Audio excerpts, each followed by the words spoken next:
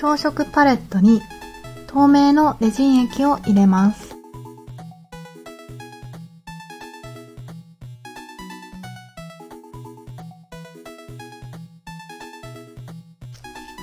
宝石の雫、ホワイトで朝食していきます。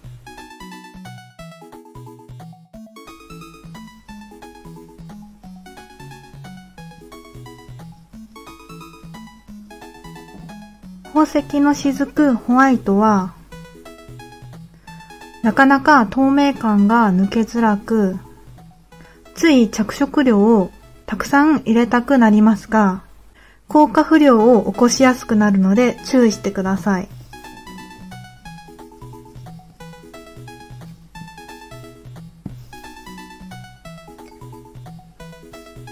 しっかりと混ぜ合わせることができたら、エンボスヒーターでレジン液を温め、気泡を抜いていこうと思います。ここで一つ注意点があるのですが、着色料がしっかりと混ざる前にエンボスヒーターを使用すると、レジン液と着色料が分離し、ひどい場合には着色料だけ乾いてしまい、レジン液と混ぜ合わせることができなくなってしまいます。なので、着色料をしっかりとレジン液と混ぜ合わせてからエンボスヒーターは使いましょう。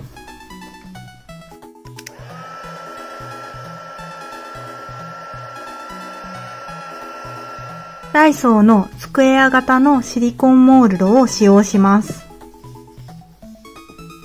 ここの2つに朝食したレジン液を注ぎます。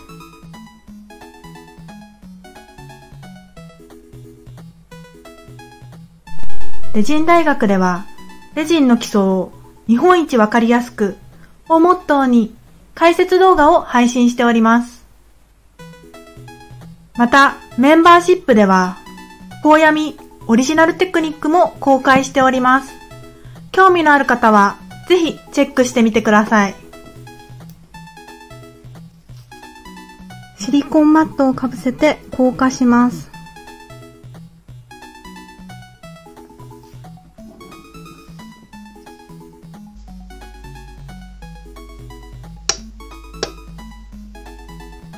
硬化することができたらひっくり返して裏面も硬化します。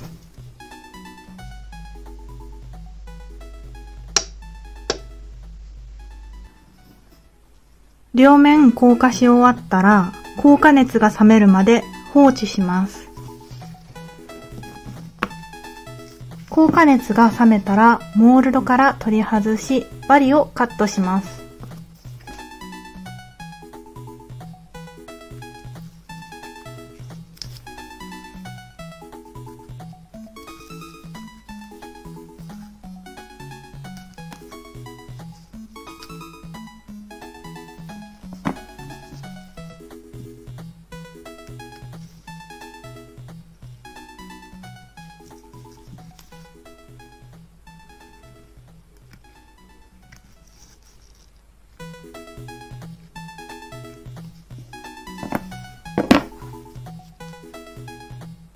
同じ手順で四角いレジンを6つ作ります。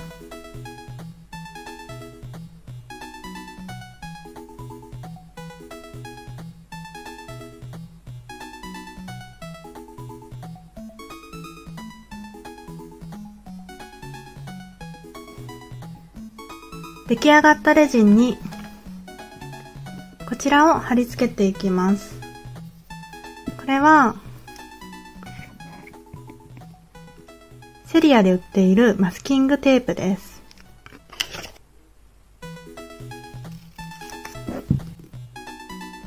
レジンの上に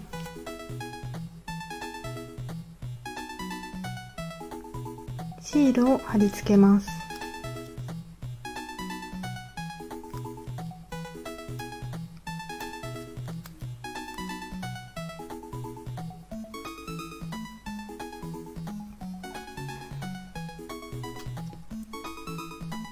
側面にもレジンを貼り付けます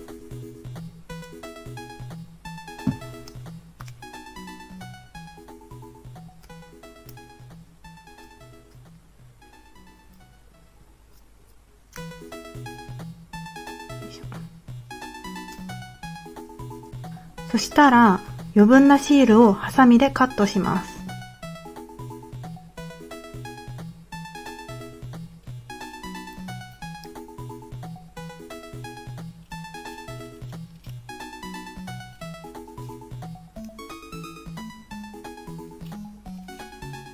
余分なシールを切り落とすことができたら角をカットしていきます。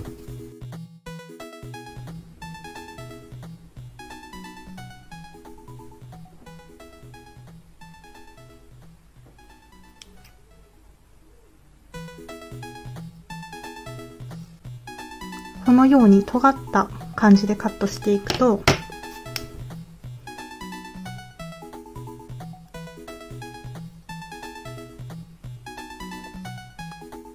綺麗に貼り付けることができます。表面に透明のレジン液を盛ります。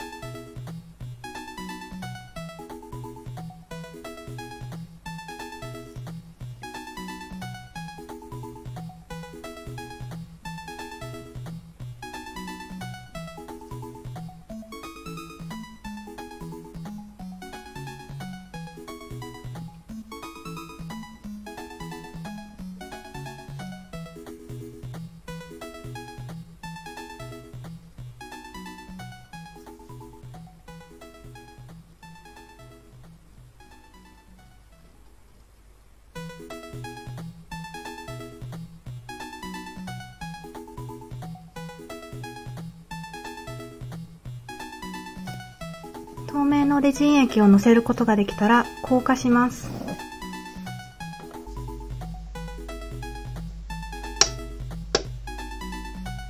硬化ができたらひっくり返して。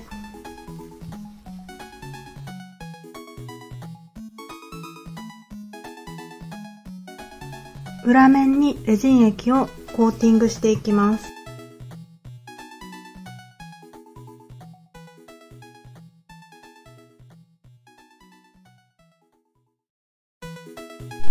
レジン大学では、レジンの基礎を日本一わかりやすくをモットーに解説動画を配信しております。また、メンバーシップでは、ポーヤミオリジナルテクニックも公開しております。興味のある方は、ぜひチェックしてみてください。